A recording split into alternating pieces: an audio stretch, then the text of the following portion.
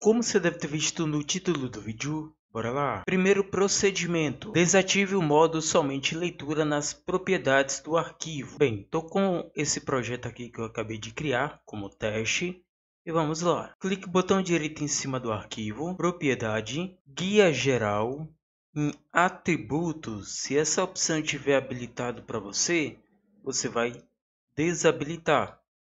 Aplica e dê OK. Método 2. Desative as restrições de edição para documentos do Microsoft Word. Você vai abrir o documento, clica aqui na aba Revisão e aqui na parte de Proteger, clique em Restringir edição. Provavelmente para você quando abrir essa parte aqui de restringir edição, vai aparecer dessa maneira. Você vai clicar aqui, ó, para a proteção. Vai te pedir a senha, digite a senha e dê OK. Método 3. Verifique se o seu antivírus está bloqueando o documento. Dica 4. Repare online se o aplicativo do Microsoft Office, guia de pesquisa, painel, painel de controle, programa, programas e recursos. Procure pelo Microsoft Office.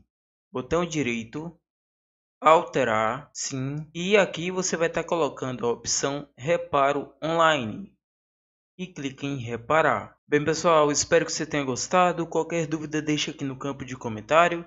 Eu quero saber a sua opinião.